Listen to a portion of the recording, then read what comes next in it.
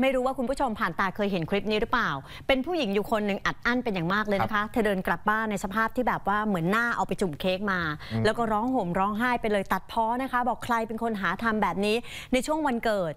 แล้วต้องเอาเค้กเนี่ยมาตั้งวางไว้แล้วเอาหน้าไปจุ่มอย่างเงี้ย เธอบอกว่าแบบเนี้ยตลกไม่ออก และนี่ไม่ใช่วันเกิดเธอด้วยนะอ้าวเธอไปร่วมงานวันเกิดเพื่อนสภาพแบบเนี้ยค่ะใครเป็นคนคิดคนวะเพราะวันเกิดต้องเอาหน้าจุ่มลงไปในเค้ก วันเกิดก็ไม่ใช่วันเกิดกูแล้วเอาหน้ากูไปจุ่มเค้กทำไมอะเค้กกูก็ไม่ได้กินน่ะแล้วก็เดินกลับบ้านนี่ยแหละรถมากูก็อายคนมีแต่คนมองหมาก็จะเห่ากูไปไหนได้เนี่ย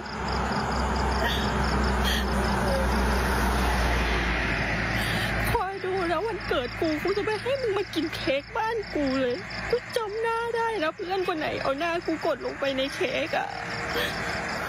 ดูสิ คือตลกไม่ออกนะโอ้โอ้โอ้ อ่าเห็นไหมเนี่ยค่ะ คนใช้ TikTok ที่ชื่อว่าโอ๊ตโอ๊ต99 นะคะ โพสต์คลิปนี้และเขียนว่าประเพณีนี้ใครคิดเลิกเอาหน้าเพื่อน กดลงเค้กเหอะขอร้อง เนี่ยเธอเดินอัดอั้นร้องห่มร้องไห้ กลางดึกเลยค่ะ ระบายความในใจหน้าก็เต็มไปด้วยเค้กอะเห็นป่ะโอ้เศษเค้กก็ติดอยู่ที่หน้าค่ะนี่เหมือนผุนผันออกจากงานมาเลยเนาะใช่ใช่ไหมยังไม่ได้เช็ดนงเช็ดหน้าอะไรเลยอะค่ะ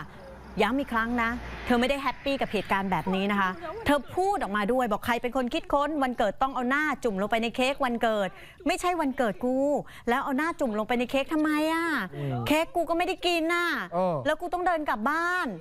รถมากูก็อายคน มีแต่คนหันมามอง เออ หมาก็จะเห่ากูไปถึงไหนเนี่ยโอ้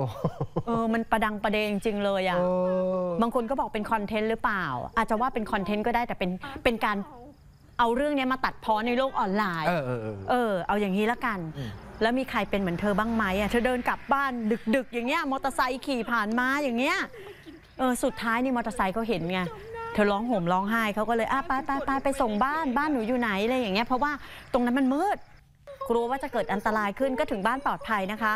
คนคอมเมนต์คลิปนี้กันเยอะเลย เขาบอกว่าจริงค่ะ รู้ว่าสนุกแต่หน้าเราแพ้ง่าย ตื่นเช้ามาสิวขึ้นอย่างเงี้ย เออเออ บางคนเขาเจอเคยเจอเหตุการณ์แบบนี้เหมือนกัน ครับ บางคนก็บอกว่าวันเกิดเขาเคยโดนเพื่อนทำอย่างนี้ครั้งหนึ่งเลยจัดกันแบบ ภายในครอบครัว ไม่เชิญอีกเลย ไม่เอาแล้วอืมบ้างก็บอกว่าผมเคยโดนครับ เข้าใจความรู้สึกเลย น่าจะไม่ดี บางคนก็มาเตือนภัยบอกอันตรายนะ เค้กบางอย่างมีไม้เสียบอยู่ข้างใน จริง เพื่อให้เค้กอะมันอยู่ตัว โครงเค้กด้านในอะเนาะ ใช่ บางคนไม่รู้ไงกะเอาสนุกกะเอามันกดหัวเพื่อนลงไป ตาจะบอดเอา ใช่ก็เอาจริงๆต้าเห็นในคลิปต่างประเทศเยอะอะเข้าใจว่าไปเอาแบบต่างประเทศเขาหรือเปล่า ใช่ อย่าเลยครับ